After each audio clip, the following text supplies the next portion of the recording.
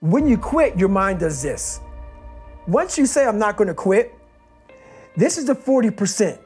When you quit, your mind says, We're done. So it doesn't expand. There's no expansion when you quit. When you say, uh uh-uh, uh this sucks, I'm drowning, I'm miserable, I'm suffering, I'm broken, but I'm not going anywhere. What happens to your mind is it does this it says, He's not leaving. So we got to expand, we got to grow, we got to figure this thing out. So then these compartments in your brain start to work. They have to work. And then you start to engage parts of your mind that you never engaged before. But you can't engage it by sitting back in these nice chairs, drinking this nice water, talking to you, talking about what I want to do. So that's where the 40% thing comes in. It comes in when you're in suffer mode and you say, I'm not going to quit. You're forcing your brain now to operate on a level it's not used to, but then it becomes used to it. In times of need, even the hardest person forgets how badass they are. So I've been through a lot in my life. When you're going through a hard time right now, you forget all the hard time you endured. So the cookie jar is a reminder that, oh, I can get through this hard time right now, but you gotta take a second or two to reach into the mental cookie jar. You gotta open up and say, okay, man, I was in three hell weeks and I got through two of them.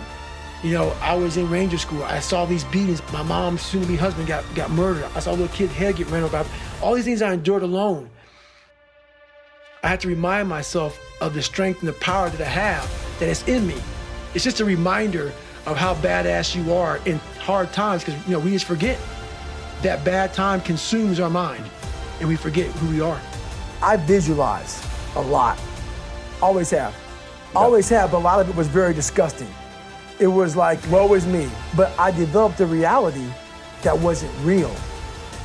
That's the thing we always do. We can have a great life, but we always build this reality around the one thing we don't have. So therefore, our great life, we don't even see it. We see the one piece of clothing we weren't able to get versus the amazing things we have. So we focus on that. I was the king of focusing on the one bad thing in my life. Everything bad, I focused on that. But over here was the beautiful reality of my life. Even though I came from nothing, where I could have taken my mind for the possibilities of where I can go if I work harder. That was all over here. But I lived in the filth over here. We all have this list in our head, this magical list of all this that we don't want to even do because it scares the crap out of us or it makes us feel like we're not good enough. We all have the list.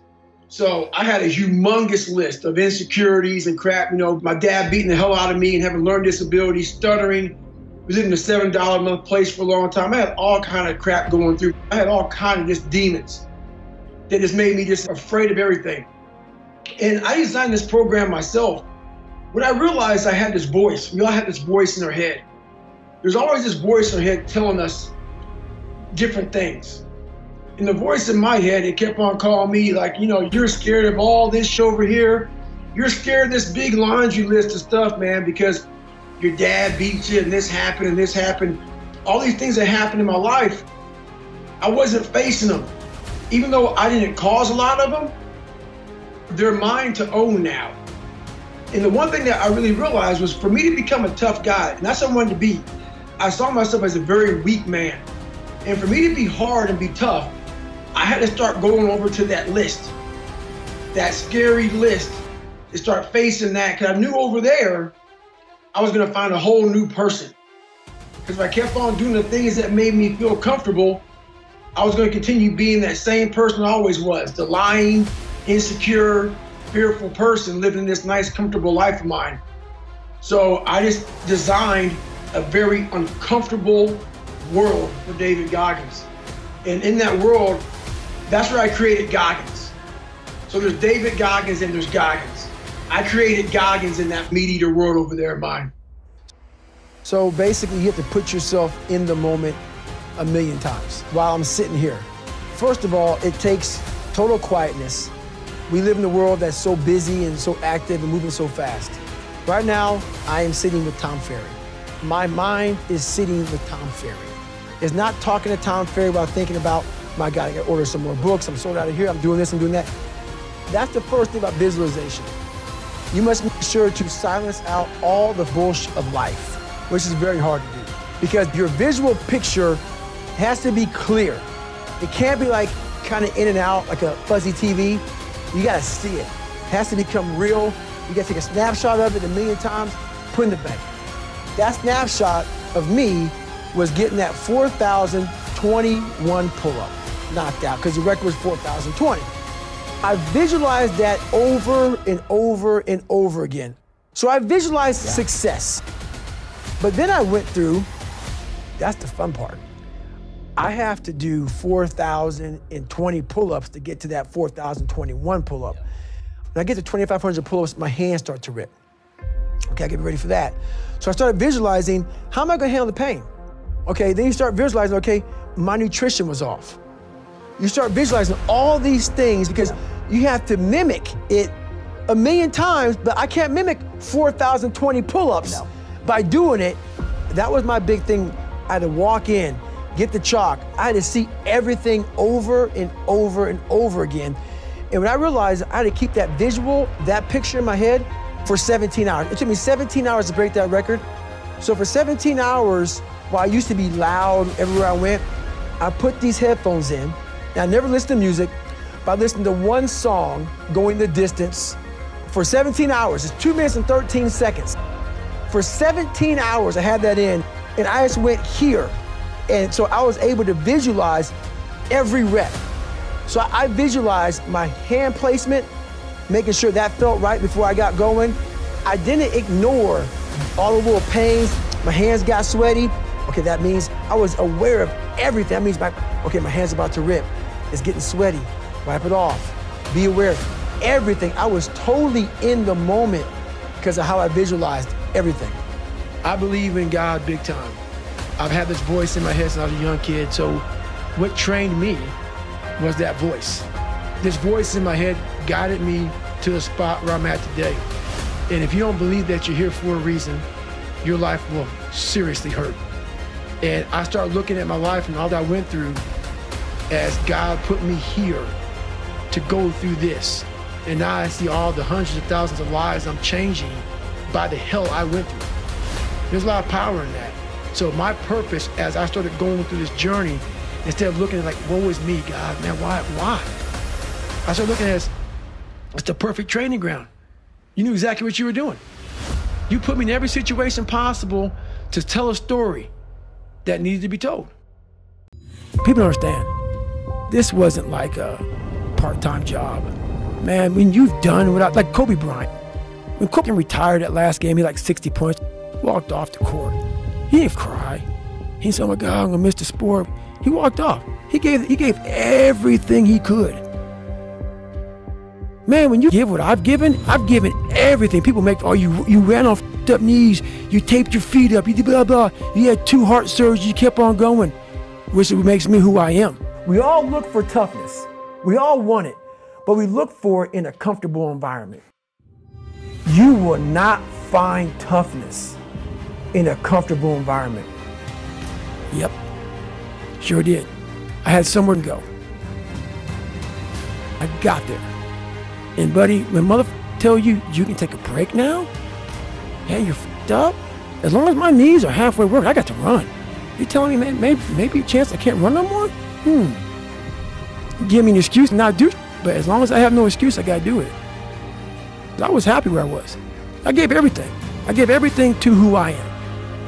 And that's why I'm people oh I don't believe that. Don't don't believe it. I gave everything.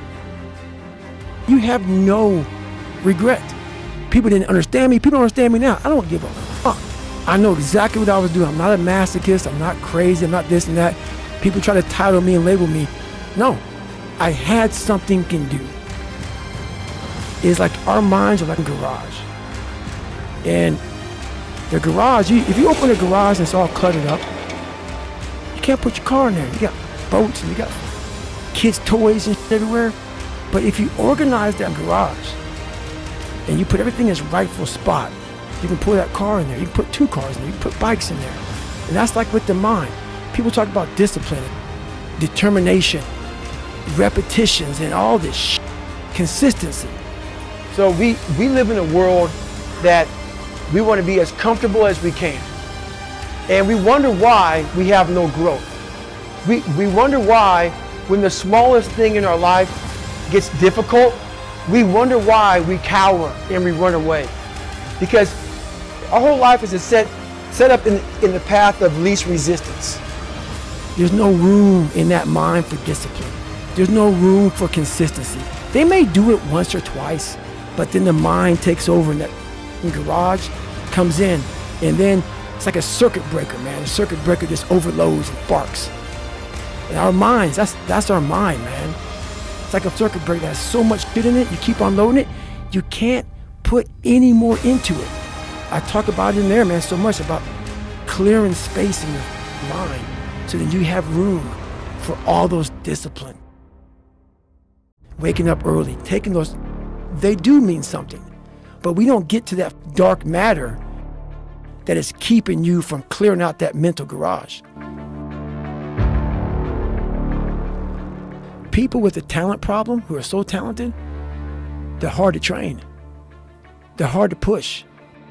If you're their coach and you're trying to get them to see that we got to get you past this talent problem, we got to get you to the point where you're into that mental zone. Because we got to get you way past your talent. And it's, it's hard for coaches to take these fighters or whoever past their talent. And on the other side of that is where they gain true, true levels. The levels beyond talent, that's where it really is. Because if you're able to take a motherfucker down to the deep end, while motherfucker's just putting his toe in, feeling the water and shit, if a motherfucker in the deep end, he's able to take you down there and he's mentally strong, it's over. It's over, man. They, because they because they live in the deep end. They live in it, man. They thrive in it. When you quit, your mind does this. When you quit, your mind says, we're done. So it doesn't expand. There's no expansion when you quit. When you say, you, uh-uh, this sucks, I'm drowning, I'm miserable, I'm suffering, I'm broken, but I'm not going anywhere. What happens to your mind is it does this. It says, he's not leaving. So we got to expand. We got to grow. We got to figure this thing out. And then you start to engage parts of your mind that you never engaged before. You're forcing your brain now to operate on a level it's not used to but then it becomes used to. When there's no more talent, what happens to you? Most people quit. Man, why am I always messing up right here? It's because you're performing to your talent. And then after that, your mind has nothing for you. I, I said to myself, who on this earth would still be going like that? You are. You gotta be the hardest on the planet. Is it true? I don't give a f- At that time, it got me to the finish line of that race. I believed it. I believe it today. I put my phone away, I put it away, and I go dark. I go dark a lot, and it's because I have to find out. I'm on a journey of life, and we all have a different journey. And I want to be in my divine box, and I believe your spirit lives forever. It has to. Powerful. No way in hell that thing just dies when you die. I want to be able to look back on my life when I'm all dead and be so proud of myself forever. This is all temporary to me. I want to be forever proud of who I was as a man and change who I used to be the liar, the insecure guy. I want to be proud. When I, if I die now, I want to look at myself and say, proud of myself. It's okay to be unhappy sometimes, man.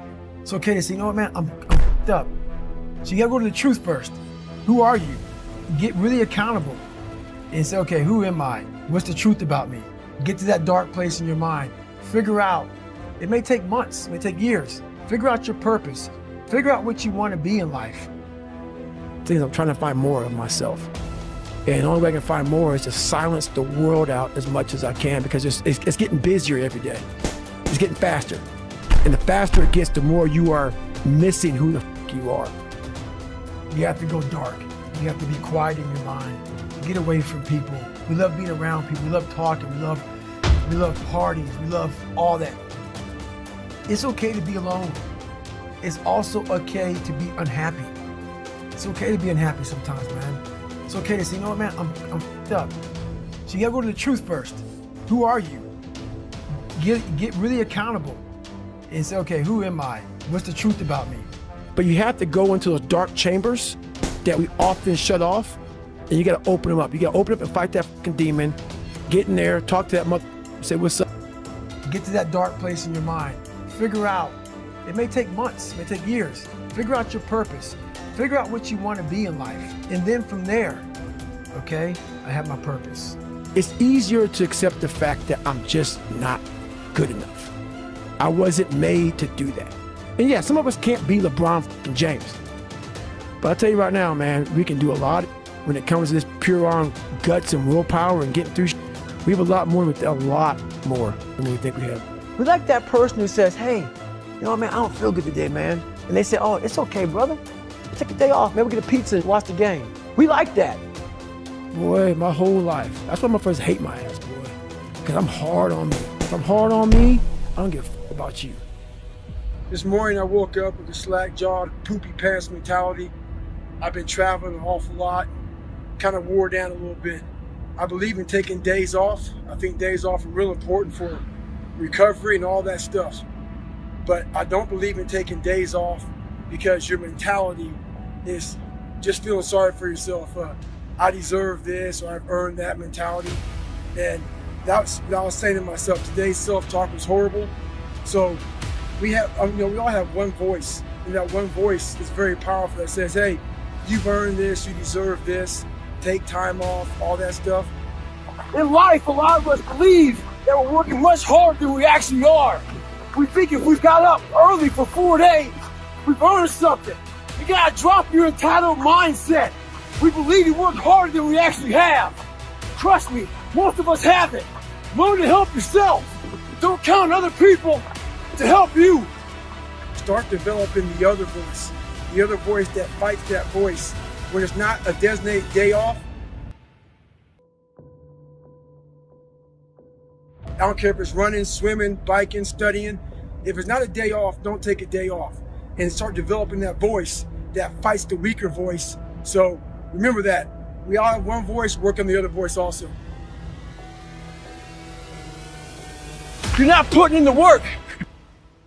You have to do more.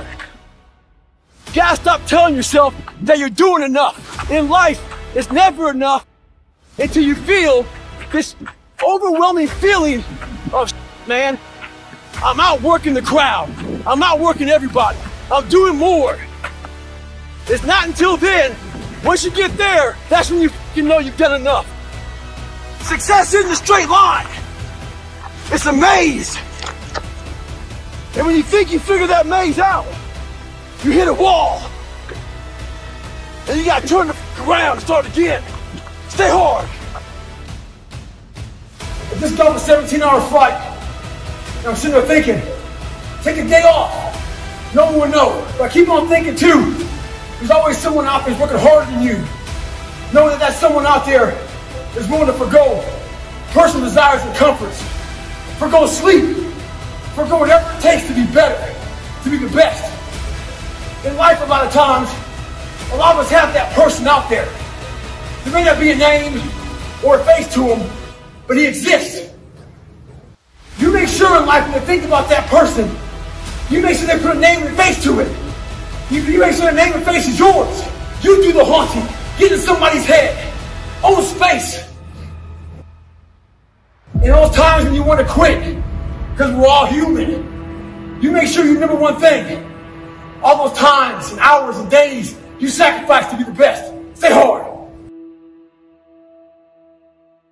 When you're trying to get better in life, the grind's forever. There is no end. As long as you're breathing, you gotta keep trying to get better. The refrigerator's never full. You've never arrived in life. What have you done today? No one cares what you did yesterday.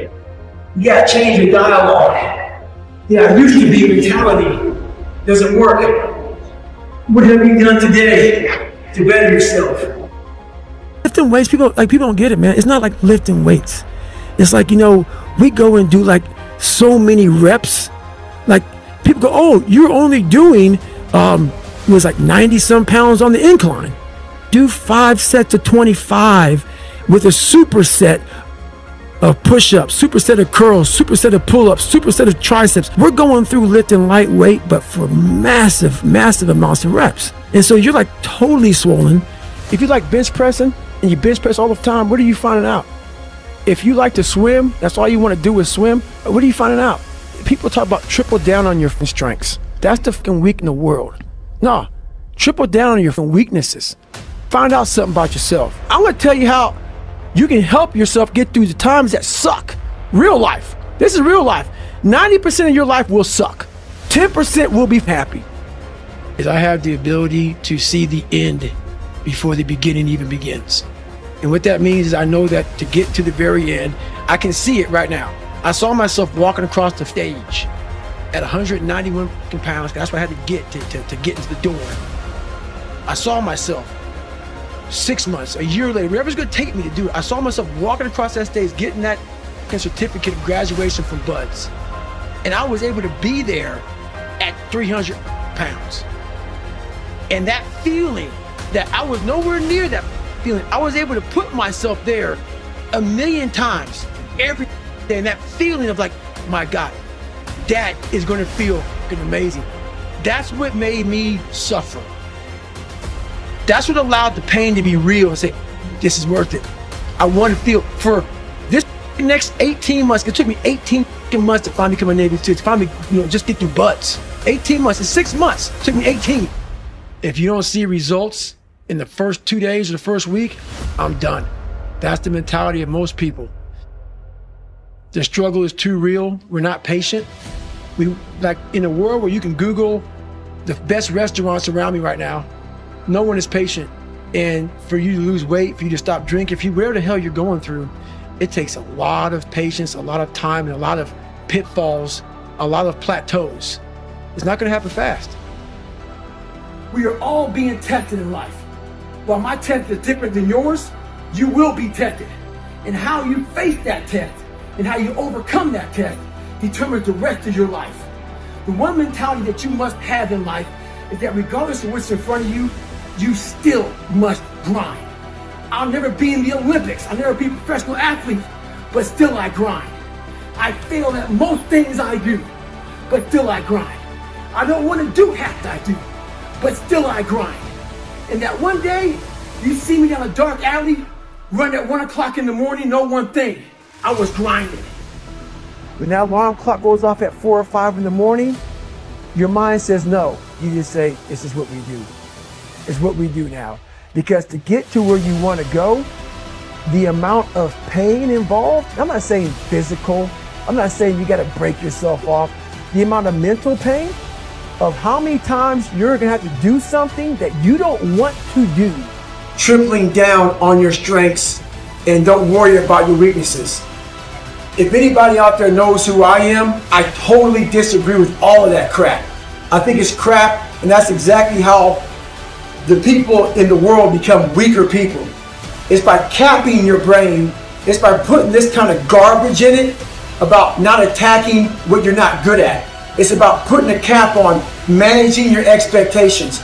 If I lived that way, if I had any kind of thought process like managing expectations, I would be a 400 pound man by now, working some job that made no money, and I would not never know my capabilities, I would never have become a Navy SEAL. I never went to Ranger School. We all want to read about how we can quickly get somewhere. That's why the six minute abs and all also are so powerful. You may get some results from it, but they're not permanent. The permanent result comes from you. You have to suffer.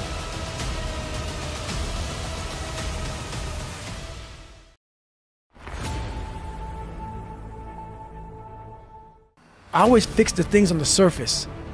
If I couldn't read and write, I learned to read and write. I would always fix these things on the surface level. And so whenever something hard would like raise its ugly head, I didn't have any kind of tools to handle it. I'm like, man, I thought I fixed this already, man. But no, I didn't go deep into the dungeon of my soul to say, okay, what is making you a quitter? What is making you a weak man? What is making you afraid? That's why I kept on quitting and going back to start or not knowing how to get through hard times. And that's why I always tell people I'm not a theorist. I didn't study, like, you know, I didn't study a book. I literally put myself in a fire repeatedly like a sword. You put a sword in the fire repeatedly and repeatedly. If, if you keep on doing that, you're gonna get a nice sword. And then you keep on beating it. You gotta beat the shit out of it. and that's what I am. Yeah. I, I became that. I, I, I said, okay, we, we can't quit. We gotta figure out what's wrong with you? What's going on here? So I kept on putting the sword back in the daggone fire and I just beat it harder. And I beat it harder.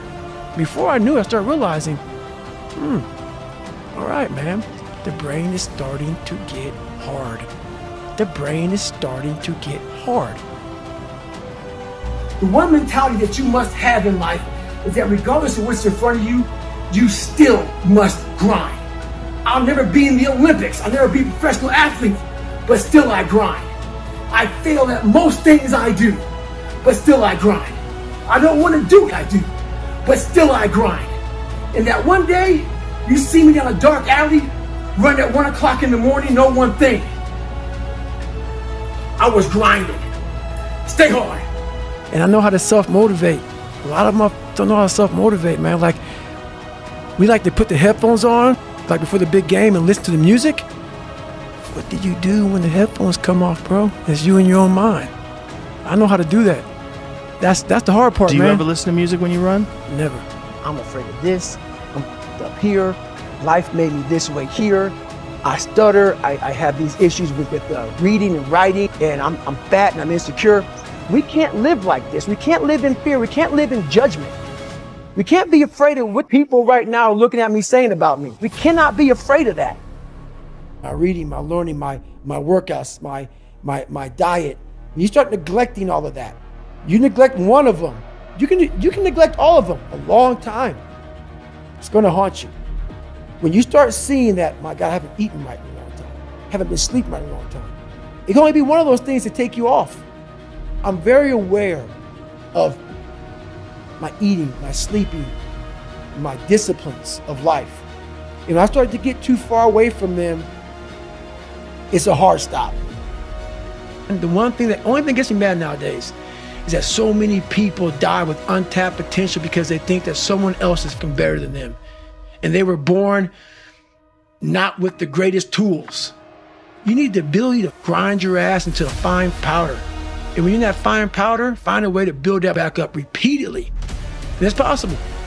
When you come from a small, small town and you come from a place that a lot of people don't want to come out of it and get out of it, and all you want to do is become somebody, you've got to be able to get out and let your mind see open mindedness. Because a small town, what it does to you is it closes your mind, completely closes your mind. Not everybody, this isn't everybody, a lot of people. You have to be able to go out there and create open mindedness. You need space. You need space to see the world. Like a lot of racism, a lot of a lot of ignorance in the world, it comes from people not being out and seeing other things, seeing other people. That's why we judge so harshly, because our minds are so closed to the reality of, of life, period. Self-esteem was built at a young age. I had zero. So that's why that discipline for me was important. It takes nothing to be a loser. And that's why I hold most people to a higher standard because I know how little it takes, little, like little ability. Like you need no talent, you need no greatness inside of you, and you can still be a bad mother. You have to be open-minded to the possibilities that I can do this. Once you shut your mind down to the possibility that it can be achieved, there's no way it can happen. So that's why my, my eyes and my body light up about things, because I know that if you're in a fight, you have to attack. You have to keep attacking. The enemy has to know he is not going to give up. You must break the soul of whatever the f- is in front of you. That's what I realized. I was never breaking the soul of anything in front of me. I started to devise ways to break a soul of a human being, of, a, of an object, of, of, of whatever's in front of me.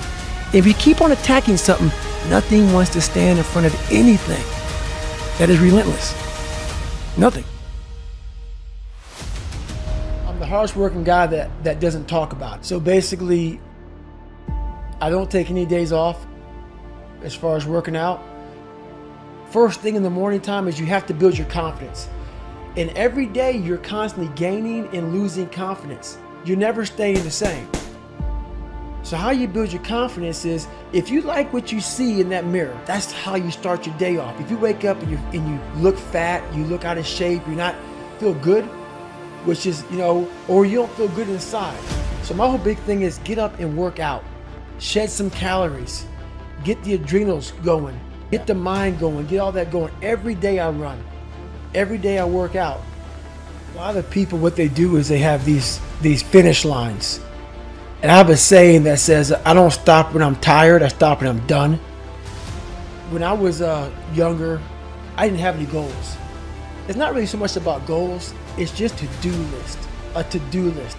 And as a human being, if you don't have a to do list, you're gonna sit back and just fade away. So I've been grinding lately, every day, running over 20 miles a day, getting up early, going to bed early, eating the right because last week started taking a toll on me.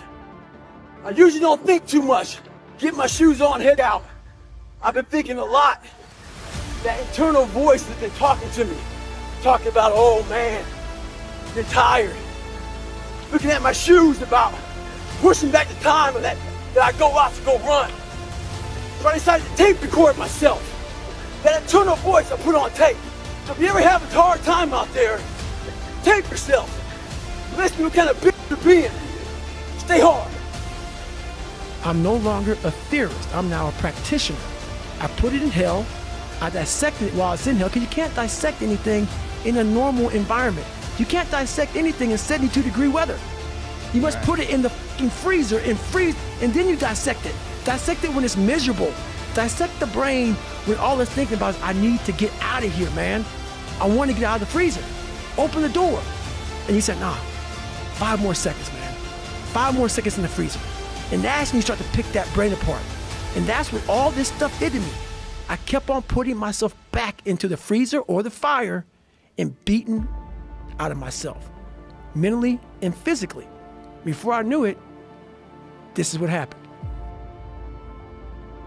I am a, even though people may not believe it, because I cuss, which is hilarious, I believe in God big time. I've had this voice in my head since I was a young kid. So, what trained me was that voice. This voice in my head guided me to the spot where I'm at today. And if you don't believe that you're here for a reason, your life will seriously hurt. And I start looking at my life as God put me, some God, wherever you believe in, put me here to go through this. And now I see all the hundreds of thousands of lives I'm changing by the hell I went through. There's a lot of power in that. So my purpose as I started going through this journey, instead of looking at like, woe is me, God, man, why, why, man, why, why? I started looking at it it's the perfect training ground. You knew exactly what you were doing. You put me in every situation possible to tell a story that needed to be told. People don't really understand what that is. When you're in the worst environment possible, the worst situation possible, and everybody's looking like, God, man, I hope this ends. And you see that time slows down and you see that. You're you're feeling that. Everybody has that look on their face like, God, this gotta go. I don't want to be anymore. And when I started realizing, I started playing mind games. And I was like, you know what? I bet these fuckers are looking at us, judging themselves about when they were going through Hell Week. About, let me see, I'm looking at Goggins right now. I was better than him. I was like, okay, okay.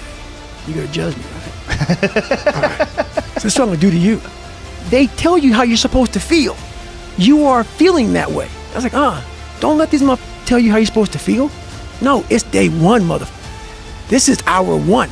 So I was getting my crew all jacked up. I said, we're gonna take these motherfuckers' souls. So when they had us doing this simple thing that guys were struggling with, I looked on the instructors' faces and it looked like someone had just with their soul. And I looked at my guys my crew and I said, hey, guess what? We own space in their head. We own space. They're gonna think about us tonight. We start fueling off the fact that, man, it takes one second of energy to steal everybody's. And then you have all the energy you need. That's all you need. You need to look at someone's eyes.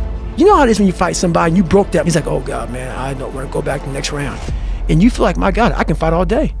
I can fight all mm. day long. That's what taking souls is. But you have to have the will, the heart, the courage to go that distance when you're exactly jacked up, you have nothing left to give, and give more. In life, a lot of us believe that we're working much harder than we actually are. We think if we got up early for four days, we've earned something. You gotta drop your entitled mindset. We believe you work harder than we actually have. Trust me, most of us haven't.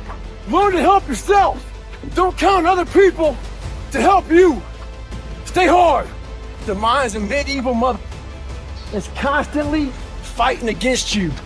It's the only thing in the history of the world that shows up on time every time.